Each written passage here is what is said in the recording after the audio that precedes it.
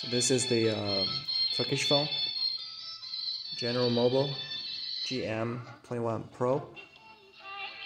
6 gigabytes of RAM. Have a look. 6 gigabytes of RAM. Um, G90 CPU. Not very fast, but perfectly usable.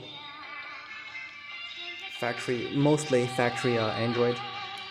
You have to take a few settings to make it look as good as a Motorola. Perfectly usable.